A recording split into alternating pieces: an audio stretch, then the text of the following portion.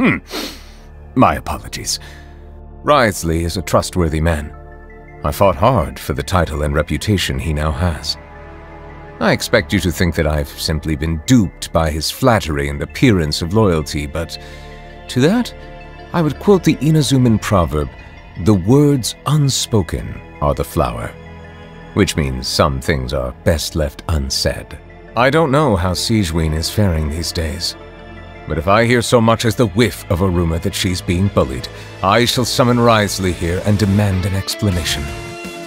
She's so kind and vulnerable. She brought me some camera film the last time she visited, and asked to listen to more of my commentary on the water of Natlan. How long is it until her next vacation? Their performances are just fascinating, don't you think?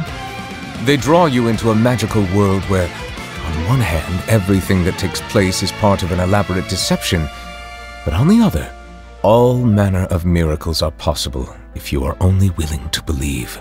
I regret to say that after my various interactions with her, such as when I inadvertently angered her and when I accepted her apology, and even now, in spite of the guilt I continue to feel over what happened to her father, I feel very distant from her as if I'm observing the starry sky from the bottom of a deep lake. It is by no means intentional, and I also know it is not something that I can easily make up for. Unlike water, emotion does not settle quickly once agitated, nor is it naturally inclined towards equilibrium. Clorinde's peerless skills have made her the most powerful champion duelist in our nation. As a successor to the Maréchaussée hunters of old, she plays a vital role in ensuring the fairness and impartiality of the courtroom. Also, she's actually not as stoic as she might appear. Greetings. I am the Chief Justice, or Iudex, of Fontaine, but you may simply address me by using my surname, Neuvillette. Not because I wish to keep my distance from you. No, I am merely conscious that being overly familiar may bring the impartiality of the judiciary into question in some people's eyes. If you have any requests or concerns, then, to the extent permissible by law at least, we can sit down and discuss them together as we partake of some imported water from Qiaoying village. I see the value in my own work, but I also see the meaning in all the endeavors of the people of Fontaine. I believe I will continue to take pride in fulfilling my duties. Water comes in many flavors to the discerning palate. Mondstadt's water is crisp and pure, while water from Liyue has an enduring aftertaste. In Inazuma, the water possesses a depth of flavor unlike any other. Sumeru's water, meanwhile, has a rich and complex flavor profile, but it must be savored patiently to fully appreciate it. Melusines are beautiful creatures. They are the pride of Fontaine. Be sure to befriend them and cause them no harm. Ah, my apologies. This heavy rain must be quite an inconvenience for you. it's over. What's that saying again? Bolt from the blue? Yes. Yes, I believe that captures how it feels to me. Snow is in fact one of water's natural self-cleansing mechanisms. But human activity tends to reduce snow's purity, so do not consume it. I find that the uh, beauty of bright sunlight is best appreciated from the indoors through a window. I cannot help but feel that you bringing me here is some sort of an assassination attempt. Good morning. I hope you have a wonderful day. Ah, it's past noon. You must be looking forward to your afternoon tea or coffee break. I certainly am. Good evening. I hope you have not encountered any unpleasantness today. Good night. I am quite fond of the image of a perfectly still body of water, and it is on this note that I would like to wish you a peaceful, undisturbed sleep. May no waves of emotional distress ripple through your dreams tonight. I am no rabid fan of trials. I preside over them only out of duty, for this is the task that has been entrusted to me. So you have heard of that local legend as well? Who told you about that? Or more pertinently, who was responsible for spreading it in the first place? Well, never mind.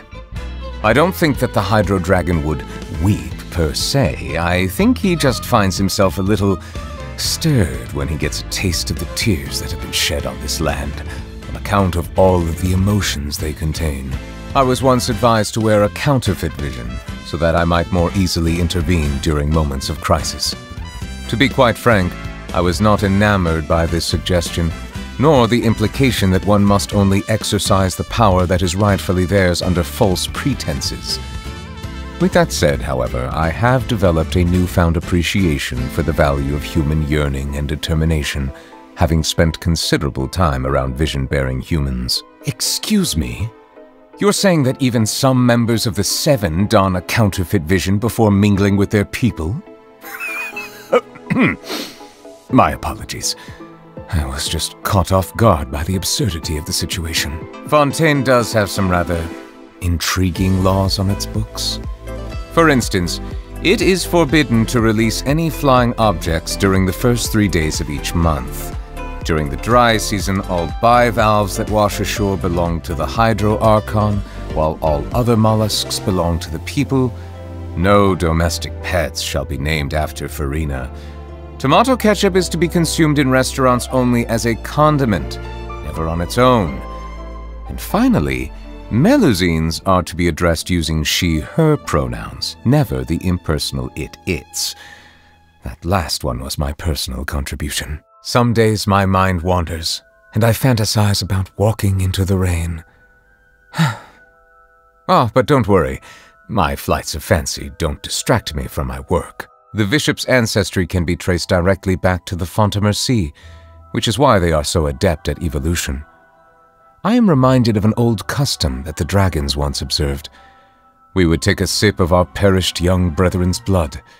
Whenever the tides are disrupted by the motion of the moon and stars, the water within the bodies of us hydro-organisms surges up towards our heads, reminding us that our deceased kin will soon be revived. From my observations, humans have a tendency to view themselves as being in opposition with nature and whenever this point is raised, someone is always quick to respond by declaring that humans are in fact a part of nature like any other organism.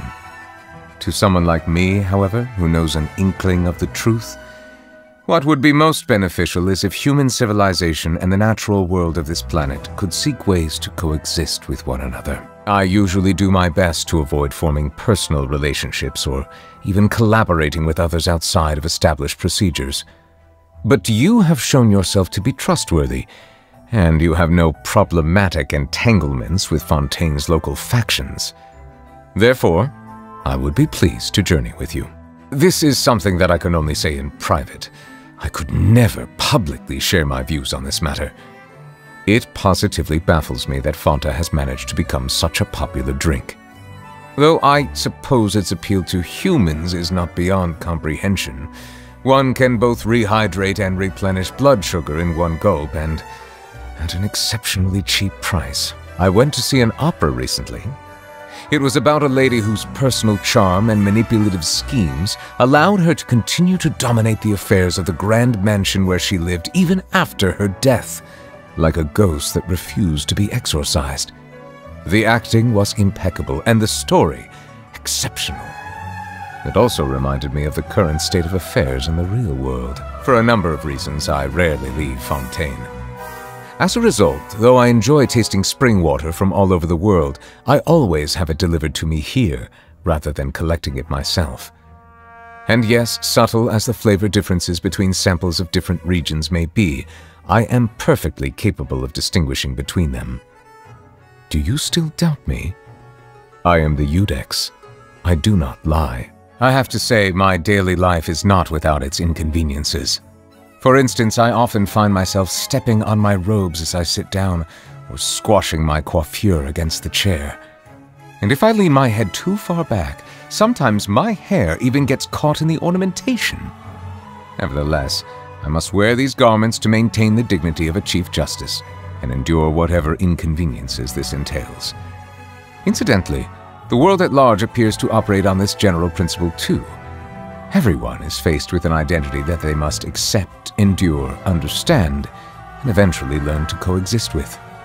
This has been my experience all along. Water tasting is a rather sophisticated discipline. Pyro-heated water has the standard au naturel flavor found ubiquitously in the natural world, while water boiled using charcoal has distinctly rustic notes. Similarly, While cryo-chilled water is cold but otherwise unremarkable, the frozen rivers of Snezhnaya, when melted, produce a water with an entirely different flavor profile altogether. People seem to respond to the sight of a man in the rain without an umbrella as if it were some sort of strange spectacle. Animals can survive for weeks without food, but merely a few days without water. There is no dish that could ever compare to pure, unadulterated water. With that in mind, food items that contain plenty of liquid are the next best thing. How can people bring themselves to consume deep-fried foods or grilled food with no sauce? The worst culprits, in my view, are those charcoal-baked Ajilenakh cakes. Surely even eating a dehumidifying agent would be kinder on the stomach. Hmm, delicious. An abundance of juices and the ingredients have been cooked to perfection. Hmm, a fine effort indeed. My only advice would be to increase the liquid content and reduce the amount of fat. Hmm, too dry. A dish devoid of moisture has no way to convey the intentions of the chef. Ah, so it is your birthday. Happy birthday. I do not know if rain is in the forecast today, but let me see what I can do. I'm a little more familiar with you now. I can match your movements. Apparently, I'll have to show a little more of my true capabilities. I did not realize that you had such a penchant for getting into dangerous situations. So this is what you're truly capable of? And I shall have to get serious if I wish to catch up with you. Now that I have reclaimed one of the seven authorities from the hands of the usurpers, I have regained my true form. I am now a fully fledged dragon, powerful enough to judge the rest of the gods. My final destiny is to judge the usurper king in the heavens above. But until that time comes, I will lend my power to you.